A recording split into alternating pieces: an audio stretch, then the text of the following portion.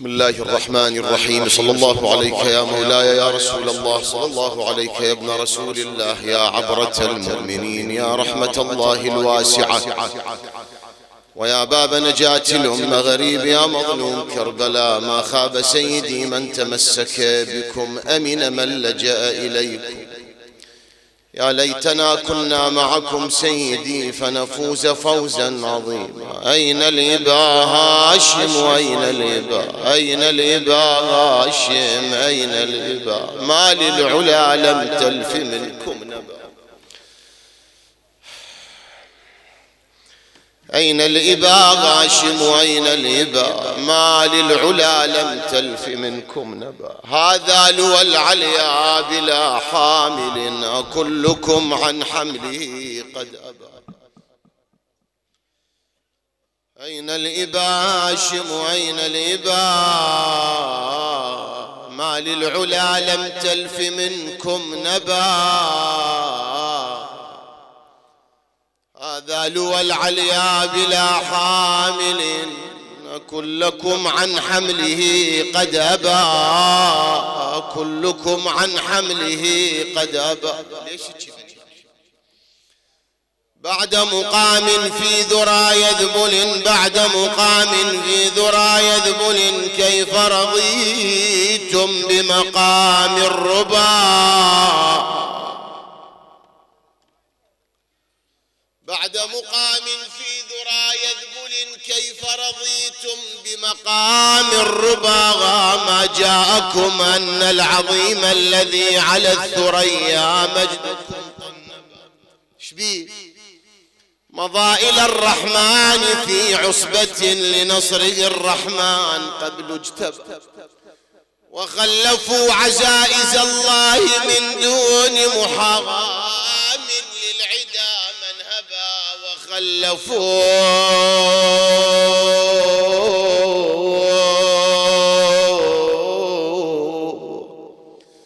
وخلفوا عزائز الله من دون محام للعدا من أبى للعدا من هبى خصوصا هالأيام اليوم الظعن دخل بعد إلى الشام وخلفوا عزائز الله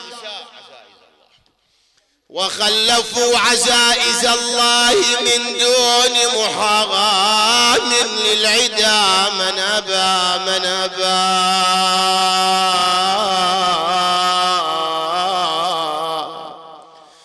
وخلفوا عزائز الله من دون محام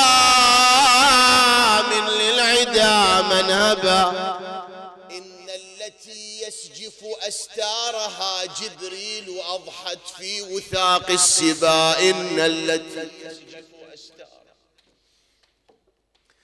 إن التي يسجف أستارها إن التي يسجف أستارها جبريل أضحت في وثاق السبا تود لو أن الدجى سرنا.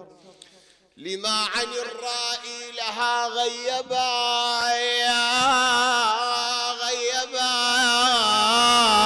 غيبا. وإن بدأ الصبح دعت من أسن يا صبح لا أهلا ولا مرحبا. لا هلا لا هلا بيك. وإن بدأ الصبح دعت من أسان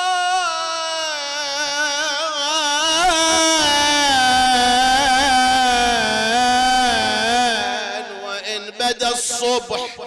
دعت من أسان يا صبح.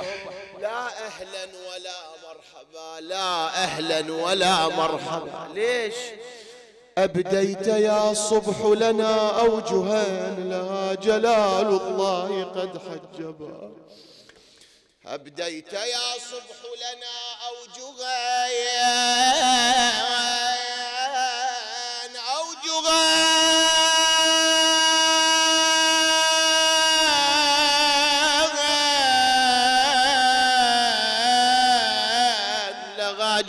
جلال الله قد حجبا يا هاشم العليا ولا هاشم ولا سيد الخطب قد أعضل وعصوا صبا وعصوا صبا ما صد أسماعكم عن نداء زينب ولهفى على زينب. وقدرت ألا محاغى من لغى لكن حداها الثكل أن تندب. تدري ما حد يجاوب؟ بس مجبورة. وقدرت ألا محام لغى لا محام لغى لكن لكن لكن حداها الثكل أن أن تندبا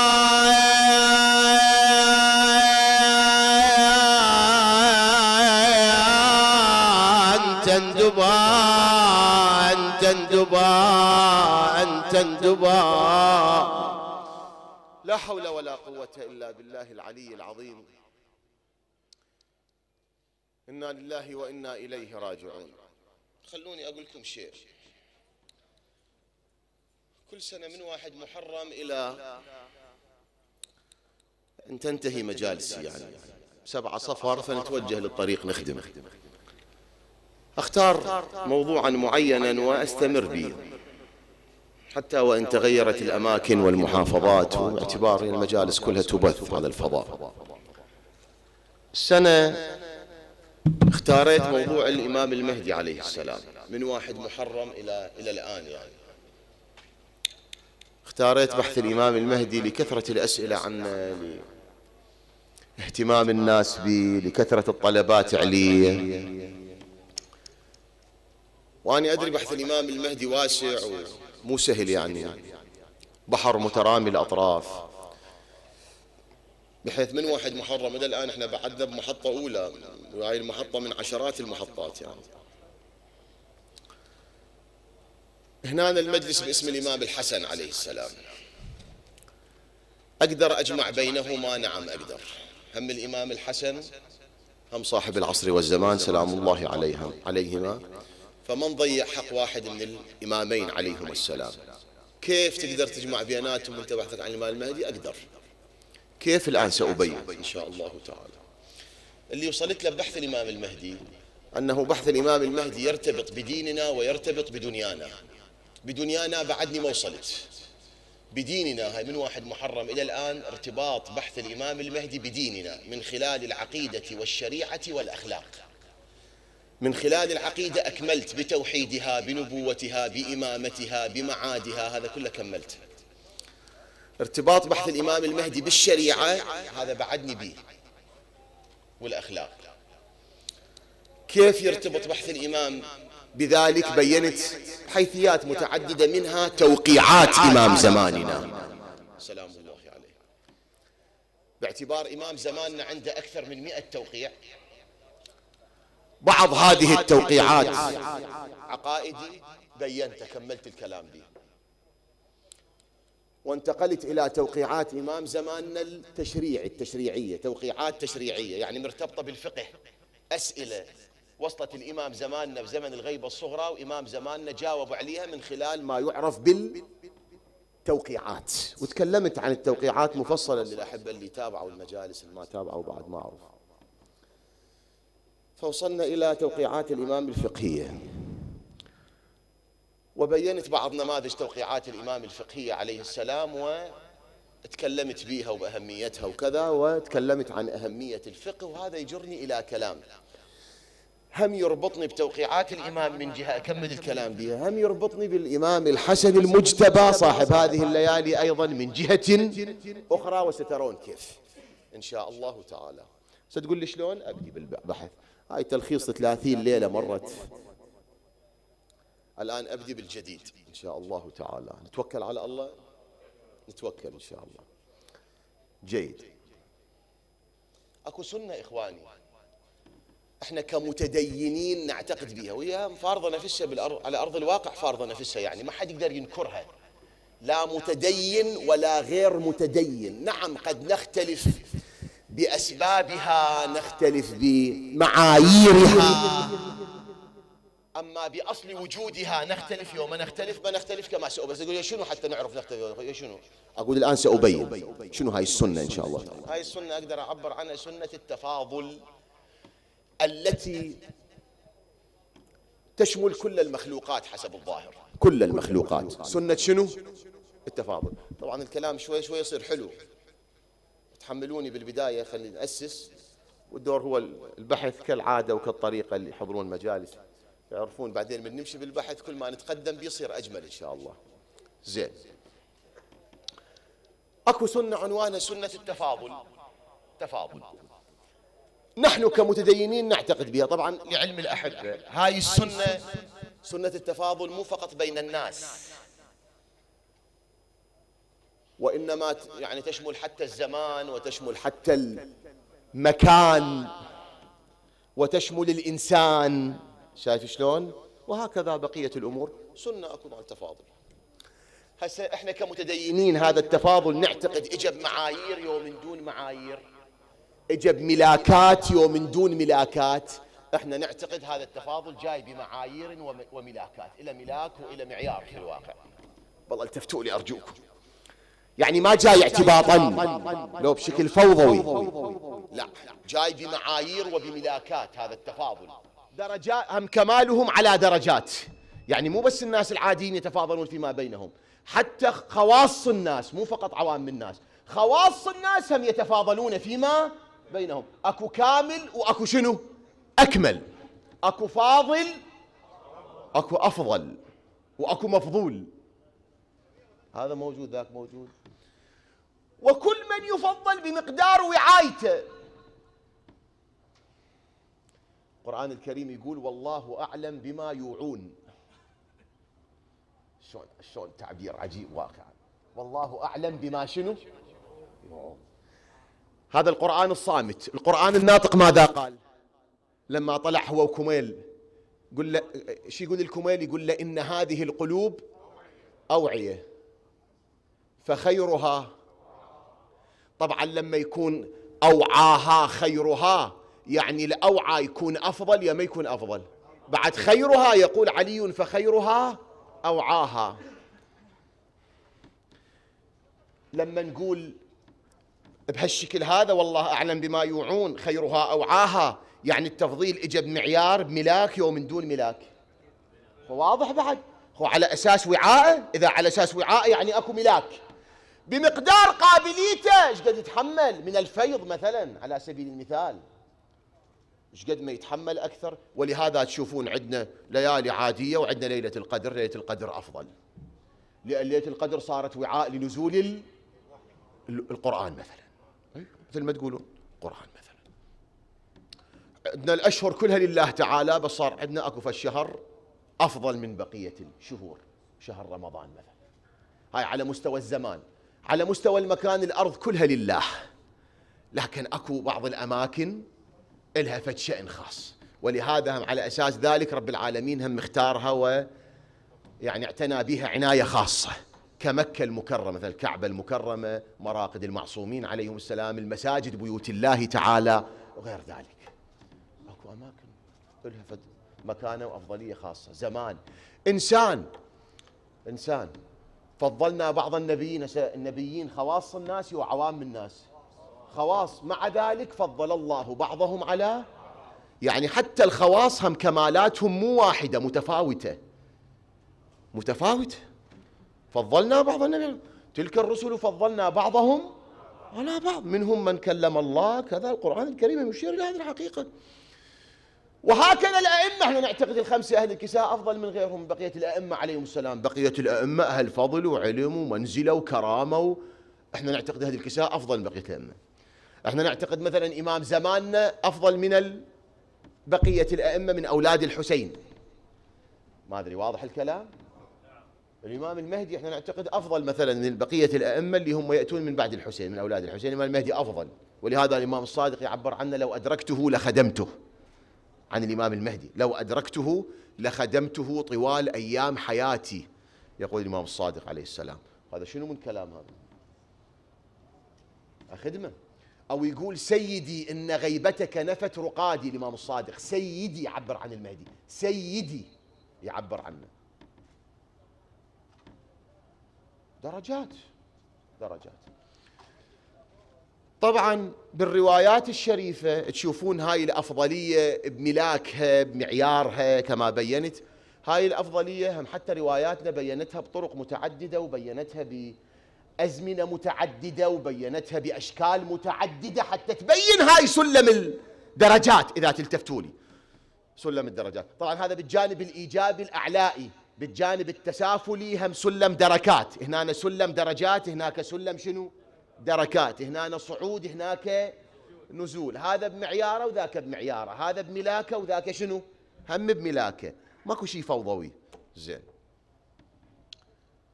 مثلا لما نرجع للروايات الشريفة إذا الأحبة يلتفتون ليش أنت زين وين هذا الجانب التشريعي في توقيعات الإمام؟ وين الإمام الحسن؟ وشلون راح تربط؟ أقول كله سياتي بس هي خطوة خطوة ومو خطوه خطوة. تحملونا الخطوة الأولى. من نوصل خطوة ثانية خطوة ثالثة إن شاء الله راح تنحل المشكلة. ونوصل للمطلوب للريدة. الآن خطوة خطوة. زين. مثلا لما نرجع الرواياتنا الشريفة على سبيل المثال لما نرجع الرواياتنا الشريفة تلقون بالروايات أنه تفكر ساعة. زين الذاكرة أسعفتني. أحسنتم. تفكر ساعة خير من عبادة إيش كثر سبعين سنة في بعض الروايات. سبعين سنة. في بعض الروايات لعله سبعين ألف سنة. ما أدري واضح الكلام؟ فشوف إيش قد فرق؟ تفكر شنو؟ خير من عبادة من دون تفكر. شوف التفاضل التفاضل شغال حتى هنا يعني. مثلا زيارة الحسين برواياتنا الشريفة. وبالروايات المستفيضة يعني مو رواية مو اثنين مو ثلاثة حتى تقول لي سندها. روايات متضافرة. روايات يعضد بعضها بعضا يقوي بعضها بعضا بأسانيد متعددة مختلفة. مو رواية واثنين روايات زيارة الحسين تعدل عشرة حجة. زيارة الحسين تعدل مثلا يقول الإمام يقول له أنا حجيت عشرين مرة. الإمام يقول له لو أكملتها مثلا إلى الواحد والعشرين لكنت كمن زار الحسين مرة واحدة. روايات موجودة. تقول لي لا باكر أجيب المصادر. مو فشي يعني روايات موجودة بأهم مصادرنا. تعدل ألف حجة. ألف ألف حجة. سبعين ألف حسب معرفة الزائر وإخلاصه وكذا و... بس التفاضل هنا موجود أو ما موجود؟ موجود. وأهل البيت هاي الأرقام مو اعتباطا يقولوها. يعني هناك يقول له 21 هناك يقول له 10 هناك يقول له كذا هناك يقول له مو اعتباطا. هاي بمعيارها من تصير 70 بمعيارها من تصير ألف ألف بمعيارها من تصير 21 حجة بمعيارها. كل شيء هم بملاكه ومعياره وكل شيء محسوب حسابه يعني. كل شيء محسوب شنو؟ حسابه نصعد مولانا بالخيرية والتفاضل سبعين ألف مئة ألف شو تريد تقول؟ ألف ألف ألف ألف يعني مليون. كما يقال اصعد اصعد اصعد إلى أن تشوف بعض الروايات. لا بعد تصعد فوق هذا الحكي كله. تصعد فوق هذا الحكي كله. يعني الرقم يوصل إلى درجة بعدها ما تقدر تعدها ولا تقدر تحسبها. الأفضلية هيك تصل مرحلة هيك تصل مكان. شلون؟ أقول لك. مثلا عمل من الأعمال ورد عندنا بالروايات. إذا تسويه خير لك مما طلعت عليه الشمس. خير لك مما طلعت عليه الشمس يعني خير لك من العالم كله. بعد هنا أنا مو قضية هالقيد كذا.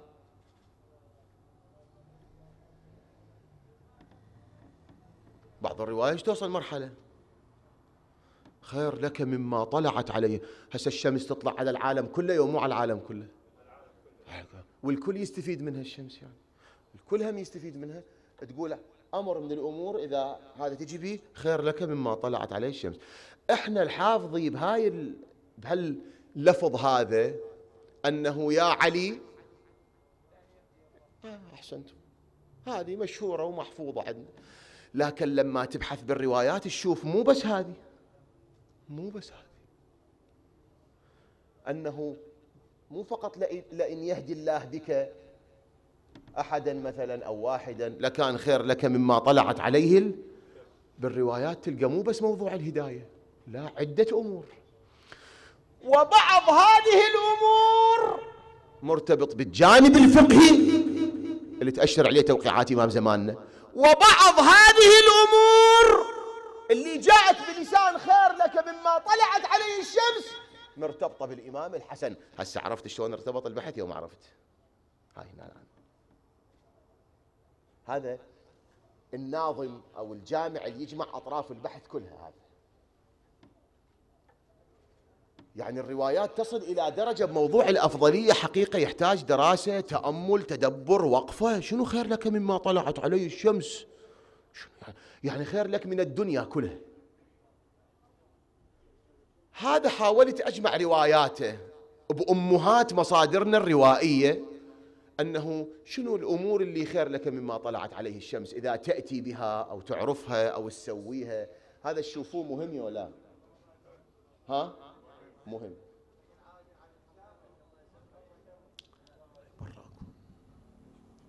صلوا على محمد وآل محمد. على سبيل المثال من اللي من اللي لقيته بالروايات الشريفة. بهذا الجانب أول شيء أقوله الأمر المعروف عندي وعندك. أول شيء أقوله. هذا طبعا بين يدي بحار الأنوار مجلد 19 عنوان المجلد تأريخ محمد صلى الله عليه وسلم في صفحة 167 الرواية هكذا اللي أمامي قال علي عليه السلام لما بعثني رسول الله إلى اليمن. تدرون النبي بعث أمير المؤمنين اليمن في آخر حياته. هاي برا أكو أكو هوسة برا يا جماعة. أكو هوسة. ما أفهم شنو الموضوع برا يعني. ثانيا غفر الله لكم.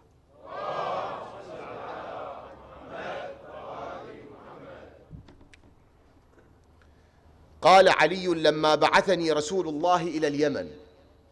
بآخر حياته الإمام علي صار قاضي باليمن. ومنك انبذرت بذرة التشيع باليمن. والإمام علي عليه السلام لما اجى بخلافته للكوفة عشائر يمنية كبيرة إجت سكنة الكوفة. همدان النخع غيرهم الأشعريون ذولا كلهم أبناء يمن.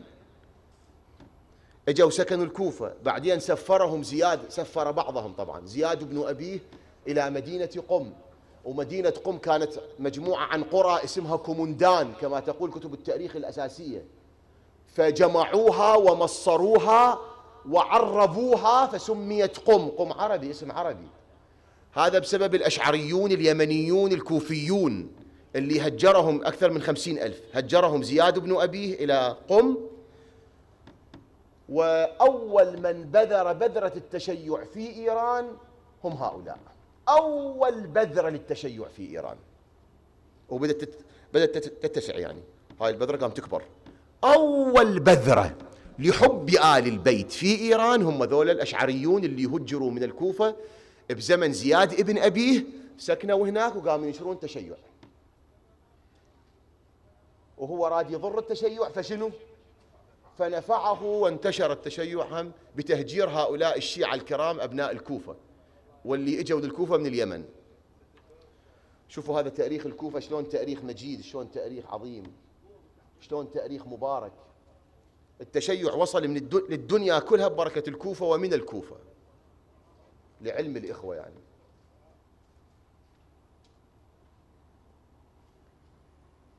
كوفة مو مدينة سهلة. المقصود. يقول أمير المؤمنين لما بعثني رسول الله إلى اليمن. طبعا إيش وقت رجع من اليمن؟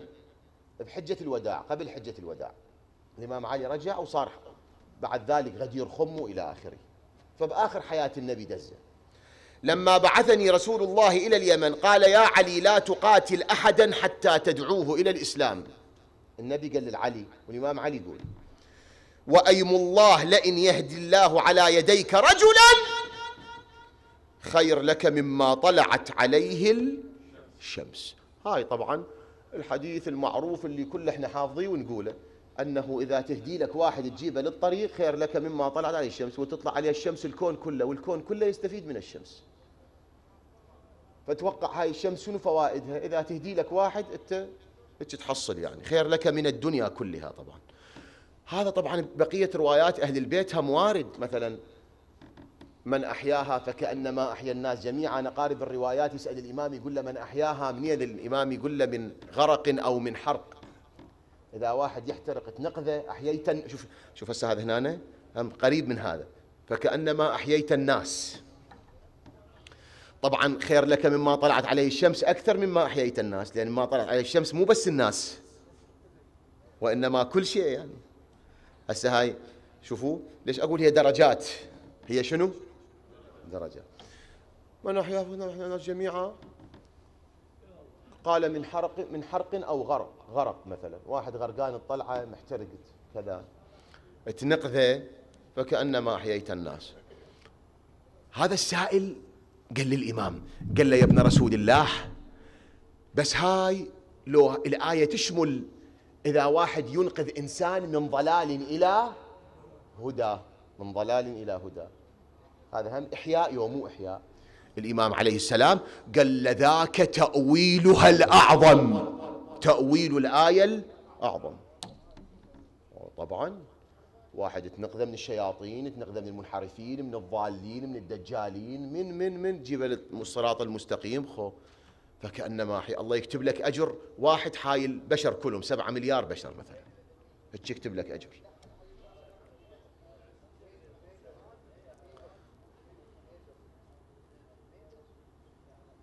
اكو مشكلة برا أكو مشكلة. الغريب ما حد يحاكيهم الإخوة لو واحد يحاكيهم يعني. يقول لهم ليش هيك يعني؟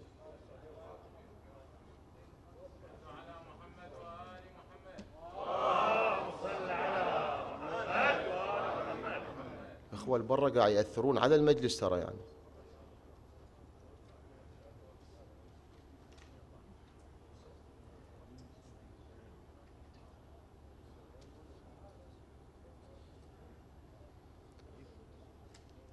هكذا الإمام عليه السلام يقول يقول له هذا تأويل الآية الأعظم. فهداية الناس مو شيء سهل. هو رب العالمين دز الأنبياء على شنو؟ ها؟ هداية الناس. على شنو دزهم يعني؟ النبي صلى الله عليه وآله شاف مكتوب على العرش شنو؟ على ساق العرش شنو مكتوب؟ إن الحسين مصباح شنو؟ هدى. مصباح هدى. رب العالمين دز الأئمة على شنو؟ جعلناهم أئمة يهدون بأمرنا. يهدون. دز الأئمة حتى شنو؟ يهدون. الأنبياء يهدون. الحسين مصباح. إنما أنت منذر ولكل قوم هاد. قال يا علي أنا المنذر وأنت الهاد. هم أنبياء أئمة مشروع هداية. فليهدي له واحد خير له مما طلعت عليه الشمس يتحمل مسؤولية تجاهه ويجيب الصراط المستقيم. فما طلعت عليه الشمس. أخوي شنو من درجة شنو من منزلة شنو من مقام شنو من ثواب؟ حقيقة والله يعني القضية مو سهلة. والله مو سهلة يعني. شغلة كبيرة كلش كبيرة يعني. هسه لعله بالكلام ما نفهم أهميتها بس من حيث الواقع خير لك مما طلعت عليه الشمس. يعني إذا تهدي لك واحد خير لك من الدنيا كلها. شايف الحكاية إيش كبرها عند الله تعالى. زين. هذا مثلا موجود بالروايات الشريفة. بعد هذا هم لقيت له تكملة أيها الأحبة هم بنفس هذا اللفظ أنه خير لك مما طلعت. الله يعزكم التفتوا لي. يعني هو مرتبط بهداية الناس وبنفس اللسان أنه خير لك مما شنو؟ مما. بس هنا شنو؟ الزهراء تبين عليها السلام رواية عن الصديقة الكبرى خلينا نتبرك بذكرها سلام الله عليها. الزهراء تبين فضل العلماء اللي يحافظون على إيمان الناس على استقامة الناس.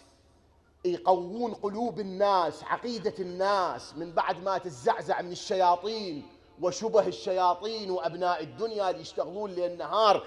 شغلهم يعبر عن القرآن الكريم مكر الليل والنهار مكر الليل والنهار.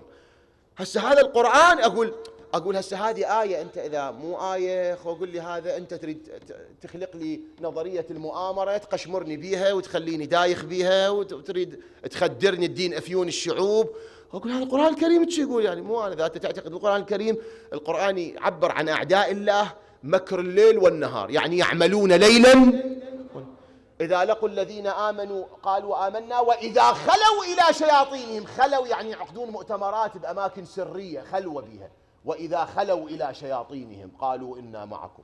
يعني كل مؤتمرات بشكل سري يشتغلون يخططون. والقرآن ترى هم ذكر يعني بعض طرق تخطيطهم. شبابنا يكون يصيرون واعين. أنا أتخطر آية قرآنية أن تشير إلى ذلك أنه بزمن النبي صلى الله عليه وآله اتفقوا النصارى اليهود ما أدري اتفقوا بيناتهم أنه الصبح ندخل بالإسلام بالليل نطلع. اتفقوا بيناتهم. ليش بالليل نطلع؟ قالوا حتى نزعزع عقيدة المسلمين على أساس إحنا دخلنا آمنا بمحمد لما دخلنا شفنا الإسلام بداخله شنو؟ خاوي. بس شعارات وداخله هذا. فمن نطلع بالليل كأنه إحنا اكتشفنا أنه الإسلام باطل من الداخل الإسلامي مو من الخارج. فراح نزعزع عقيدة المسلمين. هذا القرآن هم ذكر هاي المؤامرة ذكرها للنبي. قال هذول راح يدخلون الصبح يطلعون بالليل. حتى إذا عندك مسلم عقيدته شوية ضعيفة يقول ذولا لابد يكتشفونه على غلط وتركونه وإلا هم دخلوا بالإسلام. لو مكتشفين الإسلام صح وذولا أهل كتاب مو مثلنا أميين ذولا أهل كتاب يفتهمون قارين. فمن دخلوا بالإسلام شافوا لابد غلط فتركوه إحنا هم خلي شنو؟ إحنا هم نترك مثلهم. يعني بالنتيجة هم يشتغلون مش كانوا يفكرون كانوا يسوون يعني, يعني القضية مو سهلة يعني. يخلون مخططات يخلون كذا ويشتغلون على أساسها. زين من يقف بوجه كل ذلك؟ بعد الأنبياء على رأس الأنبياء. الأئمة. بعد الأئمة. يعني أقصد بعد الأئمة استغفر الله مو الزمان يخلو من الأئمة. مثلا زمن غيبة الإمام عليه السلام. من يقف؟ العلماء. العدول. العالم المستكمل للشرائط. العالم شنو؟ المستكمل للشرائط هذا تقول شلون أعرفه؟ عجيب. أنت الدكتور الزين تعرفه؟ تميزه عن المو زين وأنت المهندس الزين هم شنو؟ تعرفه يعني هذا بيتك وذاك صحتك. بس هذا ما تقدر تميزه؟ ليش ما تميزه؟ هو هم ميزه مثل ما تميز ذاك وتميز هذا وهذا هم ميزه. العالم المستكمل للشرائط العادل التقي الورع عالم حقيقي. هو هذا اللي يحفظ الناس بزمن الغيبة وإلا من يحفظ الناس؟ من الشبهات من غيرها من المخططات من الشغل علينا نحن أتباع آل البيت من الذي يدافع عنا عن أيتام آل محمد غير العلماء؟ ولهذا هم الآن بدأ الشغل على اليمن. هذا العلماء تسقيطها مع العلماء. يدرون هم ذولا حصن. هسه هاي مو جديدة أقولها أنا. آه، مذهب أهل البيت الآن قائم بعلمائه وبشعائر سيد الشهداء. الشغل هم الآن على الاثنين هم على شعائر سيد الشهداء هم على تسقيط العلماء وكذا وكذا وكذا وكذا. يعني يقول لك ذول إذا ضربناهم خلاص بعد الشيعة شنو عندهم يعني؟ يقولون يدافعون أنفسهم بعد. إذا تهدي واحد خير لك مما طلعت. الزهراء عليه السلام هنا تتكلم عن فضل يهدي الشيعة ويحافظ على عقائدهم ويحافظ على قوة قلوبهم. يقويهم. ولولا هؤلاء هؤلاء العلماء لعله البعض يضعف ويترك أصلا. فش تقول الصديقة الكبرى؟ كما لقيت أيضا بالبحار مجلد اثنين هنا طبعا هنا المشكلة الرواية طويلة ما أعرف كلها أقرأها ما أقرأها تعبون مني والله ما أدري. وقتها ما ظل عندي. يقول حضرت واي حلوة الرواية. ينقلها عن الزهراء الإمام الحسن العسكري. إي والله. الإمام العسكري هم ينقلها عن أمه فاطمة. يقول حضرت امرأة عند الصديقة فاطمة الزهراء. الإمام العسكري يقول عند الصديقة فاطمة الزهراء. فقالت إن لي والدة ضعيفة وقد لبس عليها في أمر صلاتها شيء. صار عندها مشكلة بصلاتها. واضح الكلام؟ صار أكو عندها مشكلة بصلاتها. هسه شكت بشيء مثلا بصلاتها صار عندها شك صار عندها وهواس صار عندها ما ادريني بعد صار عندها مشكلة بصلاتها. زين. فقالت إن لي وقد بعثتني إليك أسألك. أمي عندها مشكلة بصلاتها دزتني إلك يا بنت رسول الله أسألك. زين. فأجابتها فاطمة عن ذلك. ها الدور قام تسأل الزهراء عليه السلام. عن المشكلة اللي صارت بصلاة أم هذه اللي جت للزهراء. زين فأجابتها عن ذلك فثنت. فأجابت فثلثت. يعني السؤال ظلت شنو؟ تعيده. مرة ثا... مرة أولى مرة ثانية مرة شنو؟ ثالثة. زين. إلى أن عشرت. يعني مرة عاشرة هم شنو؟ هسه واحد يص... يعني يصبر على السائل مرة اثنين ثلاثة أما عشرة زين. فأجابت الزهراء ثم خجلت من الكثرة. يعني يظهر بعد تريد تسولف يوم مو بعدي ها؟ بعد تريد تسأل. بس شنو المنعها الخجل. يعني زين. فقالت لا أشق عليك يا ابنة رسول الله. بعد ما أذيك أكثر من هذا وأثقل عليك يعني بالأسئلة وشيء فقالت فاطمة هاتي وسلي عما بدا لك. تفضل سيلي على شنو؟ ما تثقلين علي سيلي. زين. الدور قالت الزهراء أرأيت من اكترى يوما يصعد أو من اكتري يوما يصعد إلى سطح بحمل ثقيل وكراه مئة ألف دينار؟ يثقل عليه؟ واحد يطوفة حمل يقولوا له صعده سطيح مكان عالي وإذا صعد إلك مئة ألف دينار. يحس بثقل عليه لو ما يحس. ما يحس. ليش ما يحس؟ لأن المبلغ شنو؟ عالي كلش. أصلا ما يحس بثقل. يقول لك حتى إذا عندك بعد أنا هم شنو؟ مستعد أصعده. يعني المبلغ قوي. فالزهراء إيش تريد تقولها؟ شو تريد تقولها الزهراء؟ تريد تقولها أنت كل ما تسأليني وأني أجاوبك الأجر مالتي شنو؟ كبير عند الله. فأنا شلون اثاقل من أجر كبير الله يعطيني إياه؟ شلون دروس هذه؟ زين. قالت لا المرأة لا ما يتعب. فقالت اكتريت أنا لكل مسألة. الزهراء تقولها من مسائلك هاي. بأكثر من ملء ما بين الثرى إلى العرش لؤلؤة.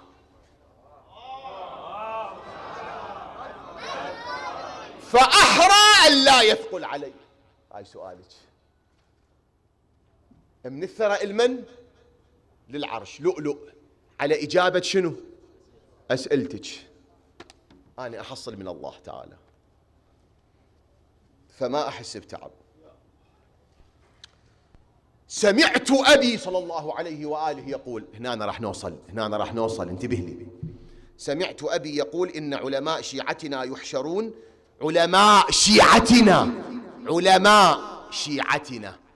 شوف والآن إيش قد أكو حكي على العلماء ونتحداكم وتجيبون رواية تمدح العلماء ونتحداكم على التقليد ونتحداكم وبس يتحدونا قاعدين من الصبح لليل بس يتحدونا بس يتحدونا. هاي قاعدين ركبه ونص بس يتحدون هسه على شنو تتحدونه ما أدري. إحنا شنو بحلبة ما الصراع تتحدونه؟ تحدي على شنو تحدي شنو؟ قتال عندنا إحنا؟ إن علماء شيعتنا يحشرون فيخلع عليهم من خلع الكرامات على قدر كثرة علومهم وجدهم في إرشاد عباد الله.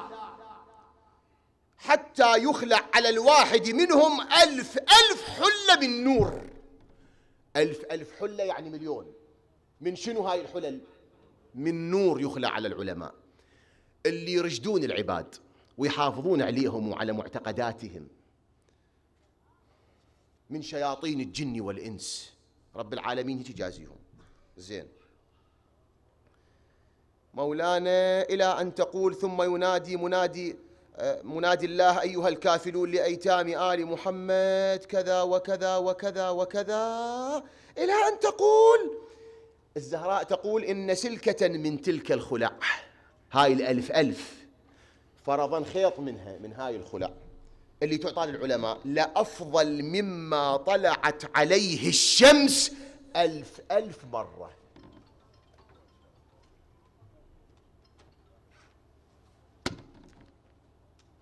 انت قاعد تشوف الحكي شلون؟ شوف فضل هداية العباد شنو؟ تقوية قلوب المؤمنين شنو جزاء عند الله فضل عند الله مكانته عند الله.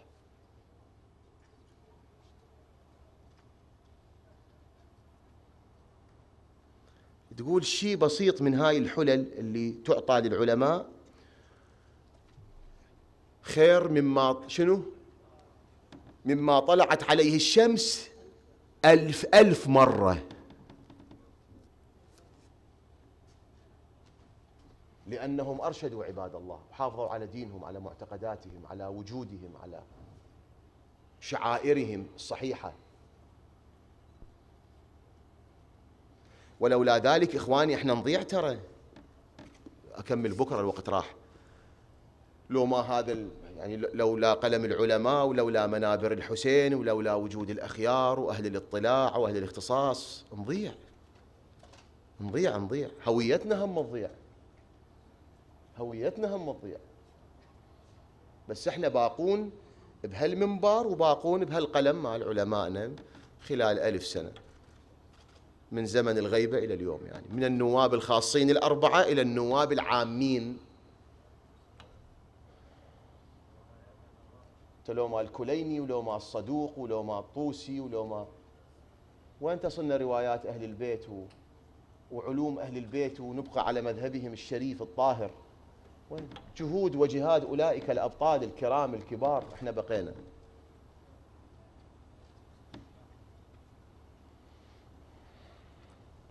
فشوف ذولا رب العالمين هم شنو يعطيهم؟ وتسديد أهل البيت هم لهؤلاء محرز. الشيخ الصدوق بكتابه كمال الدين وتمام النعمة بمقدمة كتابه. هسه لو غير الشيخ الصدوق أنا أحلام ما أحكي على المنابر أنا يا يوم حكيت أحلام. أحكي قرآن وروايات وأصعد المصادر وياي. بس لأنه الشيخ الصدوق كاتبه أحكي. يعني الشيخ الصدوق ركن من أركان علمائنا يعني مو الشيخ الصدوق يكفيه أنه ولد بدعاء إمام زماننا. ما أدري تدروني ولا؟ بدعاء إمام زماننا ولد يعني. صار الشيخ الصدوق. الشيخ الصدوق في مقدمة كتابة كمال الدين يقول شفت الإمام عليه السلام الثاني عشر وقال لي اكتب بالغيبة يقول بالمنام شفته. قال لي اكتب كتاب بالغيبة. اقروا مقدمة كمال الدين وتمام النعمة. أنتوا اقروا شوفوا تأكدوا. راجعوا وراي أنتوا. شوفوا كلامي دقيق لا من جيبي.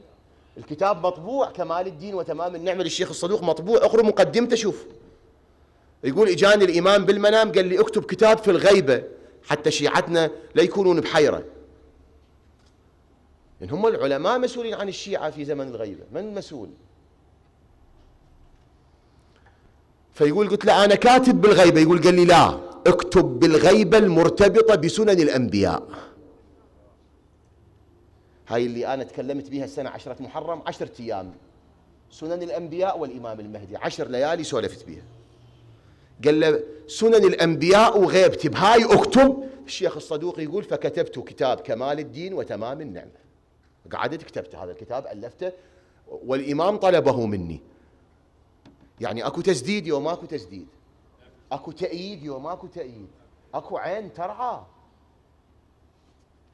بإمكانكم مراجعة المصدر مقدمة كمال الدين وتمام النعمة. شوفوا الشيخ الصدوق شنو يقول رحمه الله. أكو تأييد أكو تسديد. أكو عين ترعى هؤلاء شيعة أهل البيت أكو إمام زمان يرانا ويرعانا ويسدد علمائنا حتى السفينة تبقى والراية تبقى إن شاء الله إلى أن نسلم هي سالمة صافية إن شاء الله. هسه تقول لي هذا كلامك شنو ربطه بالحسن؟ أقول بكرة يبين شنو ربطه بالحسن. بكرة يبين أكو ربط بالحسن يوم ماكو ربط بالحسن. هذا أؤجله إلى الليلة الآتية. ونحن وما طلعت عليه الشمس. هسه إحنا الآن بالأمر الأول ما خير لك ما طلعت وهو الهداية. وما يترتب على الهداية من جزاء. هذا اليوم كملناه. بكرة نكمل بقية الموارد. البحث بآخره بدا يصير جميل ولا؟ بدا شوية ما ادري شلون انتهى شوية احسن وان شاء الله كل ما نمشي به يصير افضل بعون الله تعالى. اليوم العائلة دخلت إلى الشام. العائلة وشلون شلون دخلت الشام؟ ويلي على الشام؟ زين العابدين كان ثلاث مرات يكررها الشام الشام الشام. الشام. لأن بالكوفة صح أهل الكوفة بذاك الوقت طبعا يعني شغلتهم ما ينطلع بيها بصراحة يعني ولا يتبرر لها ولا يسولف بيها يعني. ذولاك ذولاك الخذلة والحسين أقصد. مو هؤلاء الكرام الآن الأبطال الأشاوس الشيعة الخلص الآن. أقصد ذولاك. يعني شغلتهم يعني كسرت وجهي يعني والله. والله والله كسرت وجهي آه، شلون ما تريد هذا ما, ما لها يعني علاج ابدا. اي واقعا.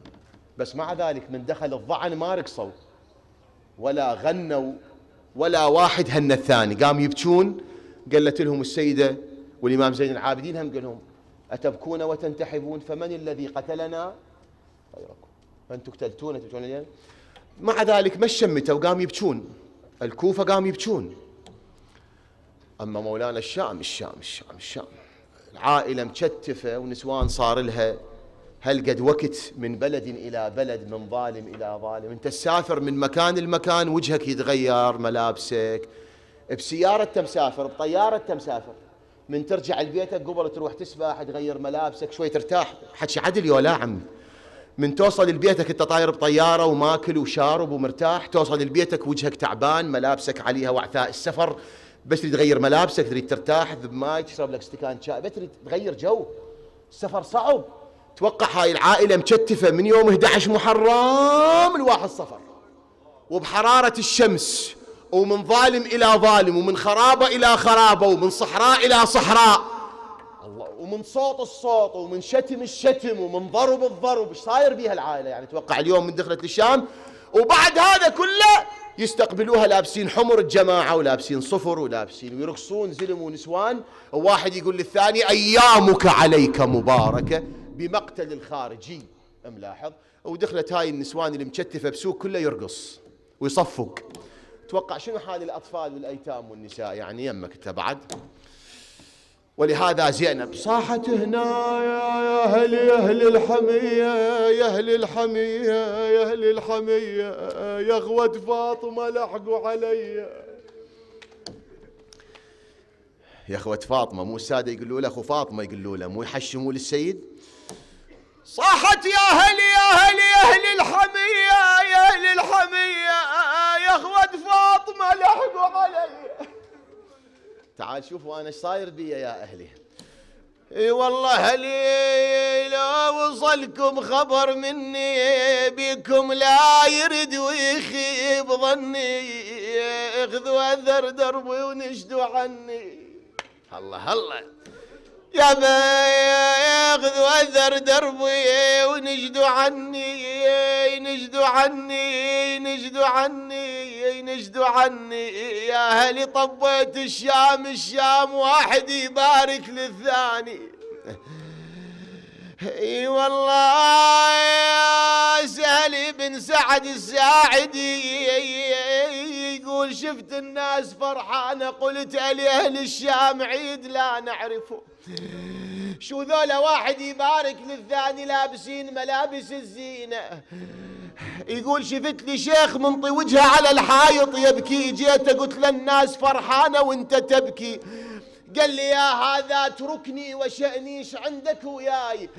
روح افرح ويا الناس شو لك شغل بي انت قلت له والله ما أتركك إلا أعرف سبب بكائك الناس ليش فرحانة. واحد صفر ما عندنا عيد إحنا المسلمين. قال له يا رجل أنت منو قلت له أنا ممن سمع حديث النبي ورأى النبي. قال يعني ائتمنك يقول قلت له ائتمني عهد مني ائتمني يقول قال لي يا سهل يا سهل شوف ذاك الباب. قلت له نعم. قال لي ذاك اسمه باب الساعات الآن راح يدخل منه رأس الحسين ابن رسول الله. وراح يدخل من ذاك الباب بنات رسول الله. أي عيد يا سهل أي عيد. أنت تقول أنا شايف النبي ذني بنات النبي راح يطبن من هذا الباب. يقول إجيت إلى باب الساعات شفت الضعن أقبل امامه رؤوس على الرماح راس أبو السجاد.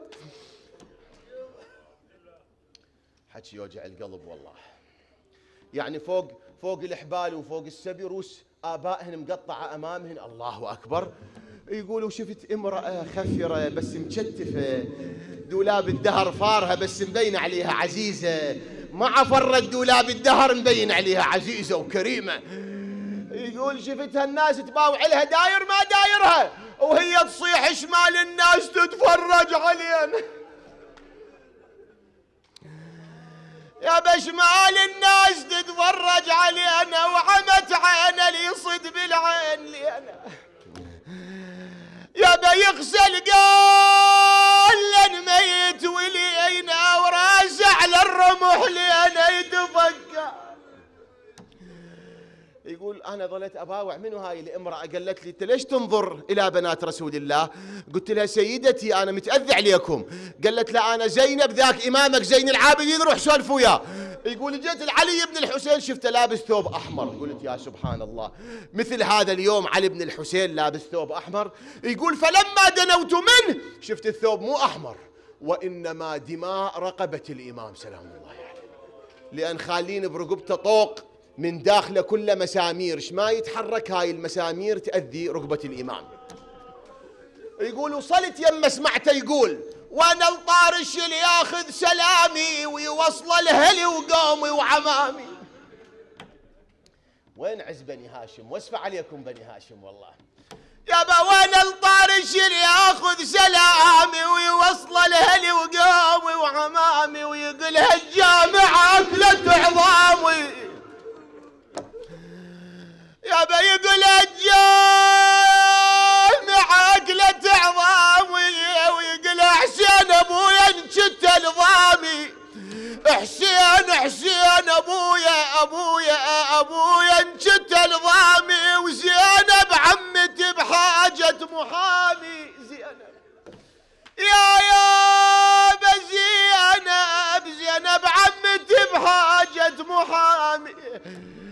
يقول قال لي يا سهل جاوزت الوقت. يقول يا سهل عندك ثوب قديم. قلت له أنت تطلب ثوب قديم؟ انتو انتو انتو اللي غانين الناس انتو اللي موكلين الناس انتو مشربين الناس انتو آل محمد أهل الكرم تطلب ثوب قديم. قال له إي والله أريد ثوب قديم. شو تسوي بي يا علي بن الحسين؟ يقول قال لي أضعه تحت الجامعة لقد أكلت عنقي. أكلت عنقي هذه الجامعة. يقول واسمع زينب سلام الله عليها.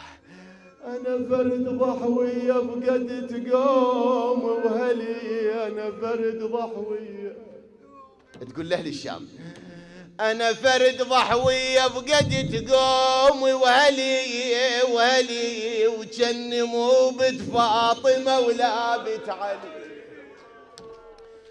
عافية بيك عافية بيك. أنا فرد ضحوية فرد ضحوية بقد تقومي قومي ولي وجن مو بنت فاطمة ولا بنت أقرأ لك بطور الشيخ الكاشي الله يرحمه. أنا خدام الحسين أحب أقرأ بطورهم أجيب أسمائهم سيد جابر أغائي غيره من خطبائنا. أحب أقرأ بأطوار الخطباء حتى ما ننساهم لأن ذولا منهم عرفنا الحسين. الشيخ عبد الوهاب الكاشي هيك يقرأ الأبيات. أنا فريد ضاحوية بقدي قومي ولي. وجني مو بعيد فاطمة ولا بنت علي أنا بنت حمولة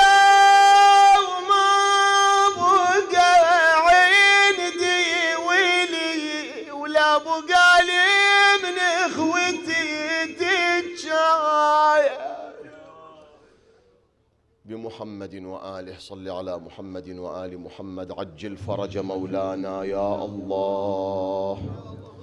بكرة البحث مهم إخواني. جزاكم الله خير. اجعلنا من خدامه من المستشهدين تحت لوائه. اقض حوائجنا. اشف مرضانا. يسر أمورنا. اكفنا شر الأشرار كيد الفجار طوارق الليل والنغار بمحمد وآله الأطهار. يا الله. شنو؟ هاي قايلي لي على مريض ما أدري وين صارت الورقة. آه هذه. السيد علاء وتوت.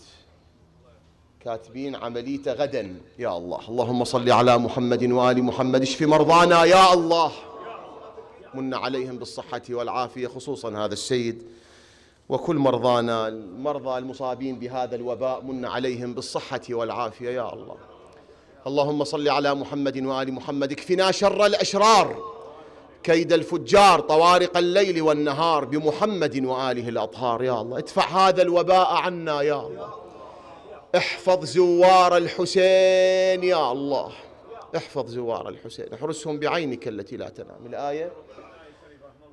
طلبون الآية. بسم الله الرحمن الرحيم. أمن يجيب المضطر إذا دعاه ويكشف السوء؟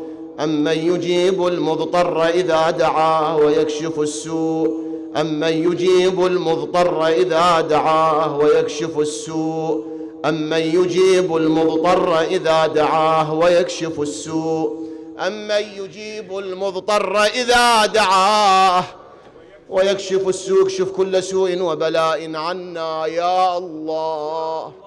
اللهم صل على محمد وآل محمد تقبل من المؤسسين أوصل مجلسهم إلى إمام زمانهم اكتبوا في صحائف أعمالهم. إلى أمواتهم أمواتكم أموات شيعة أمير المؤمنين علمائنا الماضين خدام الحسين نهدي إلى الجميع ثواب سورة الفاتحة مع الصلوات.